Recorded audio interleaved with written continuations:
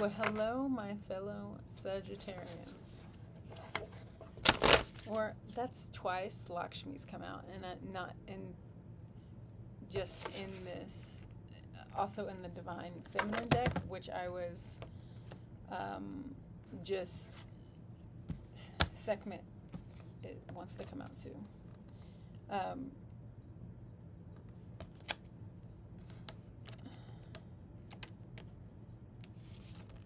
interesting. So Lakshmi, I see you. We see you, Lakshmi. Lakshmi is the goddess of abundance and plenty, prosperity, miracles, ancient wisdom. Mm. Idyllic times, the garden in paradise. Look at that owl on her shoulder, the tree rooted in the earth, magic in her hands, a butterfly at the tip of her fingers, change at the tip of your fingers, wisdom, knowing. 117, card number 48, which is a 12. 12, um, rem- it's like a, I don't know if I'm going to say this, doc, doctohedron? uh, a 12 sided geometric shape. Um, I was just reading about it and I find it fascinating. Uh, that is the signature geometry for angels and devas, divas, devas. So 12, and it makes sense because one, being us, an individual, and two, which is the collective. And when I hear um, uh, people like Abraham Hicks, but also I've heard other scholars speak about it, it's angels uh, and higher beings. Um, they they roll in a collective. They all speak as one. It's like there's many, but then they all come together in a you know, in, in our consciousness, it's like they all speak as one. They're all in agreement. They're just in this higher, peaceful, just a group of people, all all in agreement. high in the highest vibration, or in a much higher high vibra- vibration. Sacred purpose, eternal flame ancestral legacy. Okay, so did I even finish what I was talking about um, with the angels? So one, you being the individual, and the two. The two is facing the one. So um, as I've heard it explained, and it res- it makes sense to me. Um, that the higher beings are watching over us, right? That's what a lot of us think. And they so it's they're watching the one, us, me, you, uh, individuality, one, them as a collective group, two, because two is about relationships. So there's two or more. Um, and then you put it together, it's three the Holy Trinity, the triangle, uh, which is like the Father, the Son, the Holy Ghost. It's a very, um, you see the three comes together and creates. It's a um, like you you manifest with three, three, six, nine. There's a it's a uh, you just come to it's a creation number. You come together to create, and so angels come together to help us to make the world a better place to bring it up to higher vibration you know like if you're watching your favorite show you're rooting for the good guys or whoever you're rooting for, right? And you're like, let's do this, or you go to your favorite game, you know, and you're you're watching, and you, you've got all your favorite players, and you're like, yeah, you know, rooting them along. And that's what I'm envisioning. Whatever. Sacred purpose, eternal flame, ancestral legacy.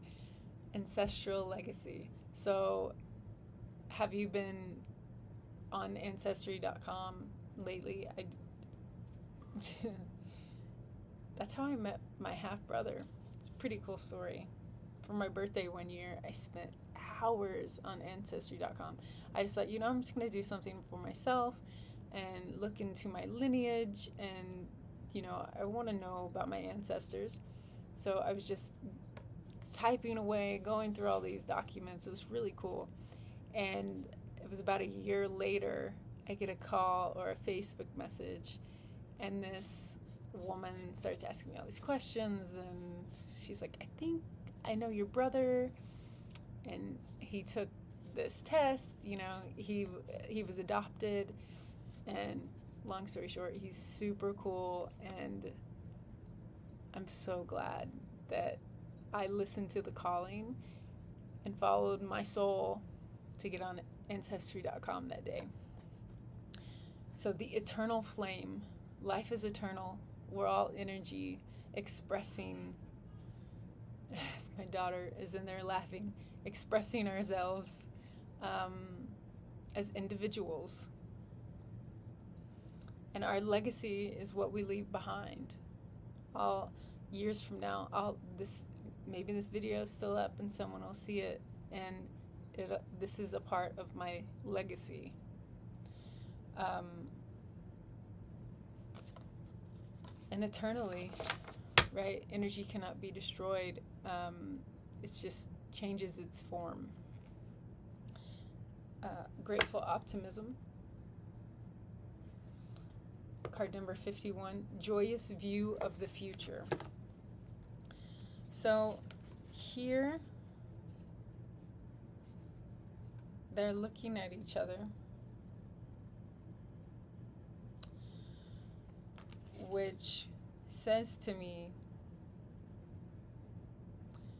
follow your heart's calling, right? Her heart is illuminated.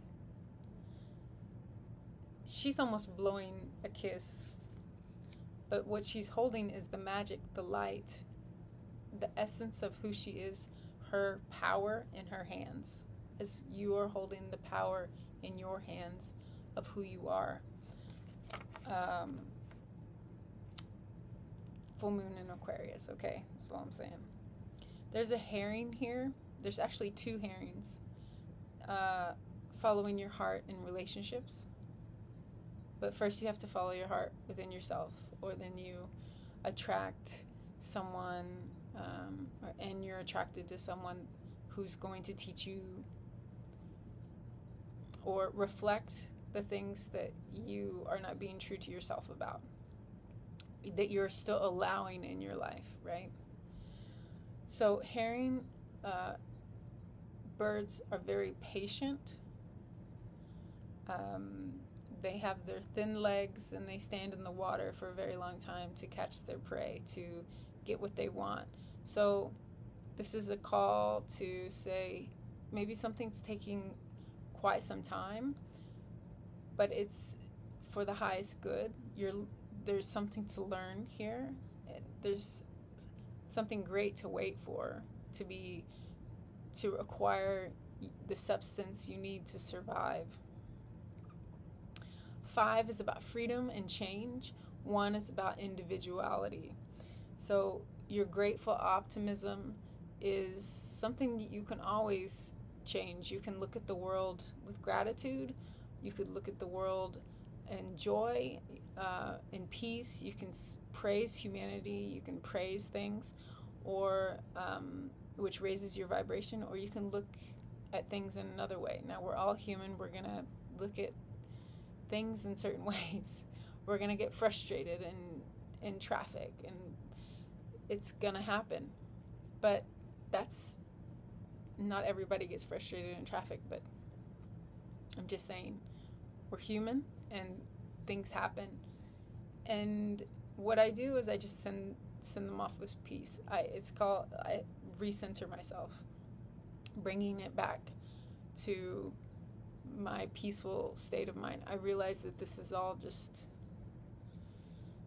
life. And when I'm my happiest is when I just go with the flow. I realize that everything is happening for me. And what this these two cards, this energy is saying is when you look to the future, the future looks back at you, blowing you kisses because you're living your life from your heart. And even though it feels like maybe nothing's happening, maybe you're not seeing any fish, you've been standing in the water of your emotions for a long time, and this joy and gratitude. But the future says there's love here. I'm reflecting back the love that you're giving to me now. You're showing to the world now. And it's it's solid. There's a, a, a tree here. It's the how we breathe, right? They trees are so um, sacred and rooted. So what what is it? This energy is asking you, what are your like what are you rooted in right now? Where's your energy at? Is it in anger? And this is where this comes from. Like the I am pure strength. I honor my anger by giving voice to it. Sekhmet, the red lady. Or uh, Green Tara came out uh, before I turned on the camera. It's the Buddha of enlightened action. And she's the female Buddha. When everyone said women aren't Buddhas, she said, I am. and she is, was. My soul informs my every step. My soul informs my every step. I do what my heart compels me to do. I do what my heart compels me to do. Is that call for setting boundaries? And friendship, there's a friendship card behind this. Deep emotions, being true to yourself. Full Moon Aquarius is really illuminating that.